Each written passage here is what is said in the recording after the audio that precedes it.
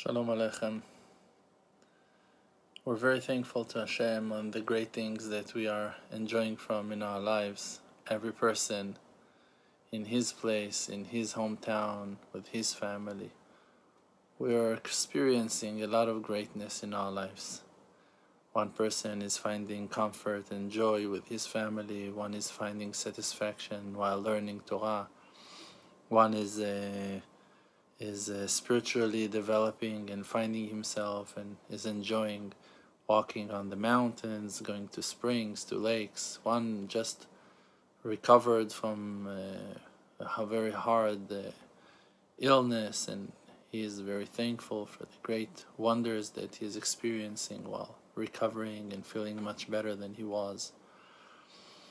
But with all that, that we do find great things in our lives, we must remember that our people out there, that their pain and sorrow is impossible to bear. And every human being, the kindness and mercy must be so, so, so, so, so deep and solid in his heart that he won't even be able to bear the thought of the sorrow and pain of, of another human being. It's written, נוח לו לאדם שישליך עצמו לכבשן האש ולא ילבין פני חברו ברבים. It's better and even in the in the way you say it in Hebrew, you say it's more comfortable, like it's the best thing for a human being, l'adam, not for the Jew or for the Israeli. It's like to every human being that is human, it's more comfortable for him to throw himself to the fireplace, to the fire, than to insult and to shame someone else in public.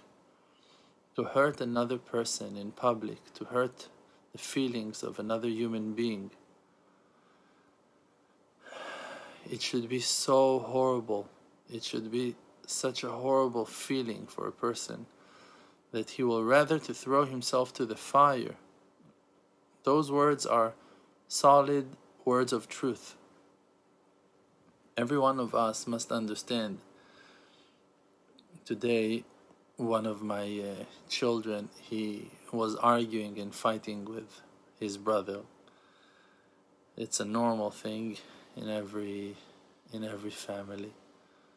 And um, he took something that belongs to, to his brother and hide it. He wanted to to revenge. So when his brother started to look for that uh, object i called him and i told him what happened. And he said i i took it and i hide it from him. Told him listen do you remember that few days ago he did the same thing to you? He said, Yes. I told him, Did you like that feeling? He said, No. I told him, Okay. And do you remember that when you felt that frustration from him, that he took that thing from you and hid it for you, that you, even though that you knew that he was angry, that he's upset on you, you still did not accept the fact that he decided to take something that belongs to you and to hide it from you, right? He said yes. So I told him, it's written, alecha Thing that you hate, that you don't like that someone is doing to you, don't do it to your friend. And then I told him, listen, every time that in life you find yourself thinking about halacha, a Jewish rule, a rule of, of the Bible, or a saying of the sages, and advice from the wise and righteous people, you should know that that's the truth. Don't ever violate a word of the sages, of Chachamim, of the righteous ones. Don't ever violate a code of behavior, a rule from the Bible, a commandment from the Torah. In life, you will always find that in the end, the Torah was right and we were wrong. It's better for the person to throw himself into the fire. Think about it. Get into the fire. It's so hot over there. It's crazy. How can a person stand one one minute of fire, one one moment of fire.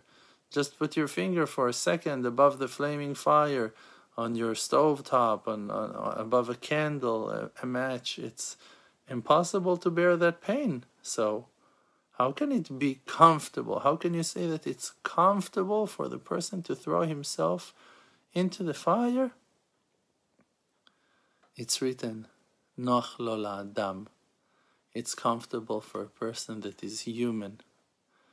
For a person that is human, it's so horrible to hurt another person's feeling. It's impossible for him to do something like that. If you're not in horrible pain, if you hurt someone's feeling, if you don't like wanna go out of your mind completely, losing yourself, disappear, vanish from the world if you hurt someone's feeling, still we cannot call you human. Adam, human, is a person that for him it's more comfortable to suffer the crazy suffering of fire and not to feel that he hurt someone else's feeling. This is what we need to do. We need to work on our attributes to become more human, more nice, tolerant, sensitive, loving, respectful, caring, if we will not express the good attributes of the Creator, the light that shines from our souls into our bodies, so what's the purpose of this journey?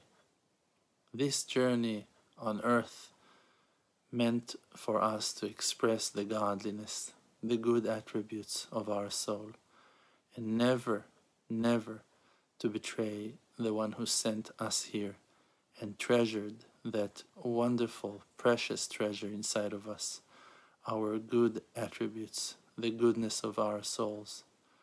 You must share your love, you must respect, and not ever to let your fears and your pressure and your stress lead you and force you to listen to the voice of the evil inclination, the voice of negativity, of anger, of sadness, of bitterness, of rage, of all that craziness, the voices of lie, the voices of the impure, contaminated snake. Don't follow his advice. Don't ever be rude, ever be cruel, ever be violent, ever. Always just love and care and be human. Be human. I'm asking, I'm begging. Just be human, and the Creator will shine His light, light upon us all. Amen.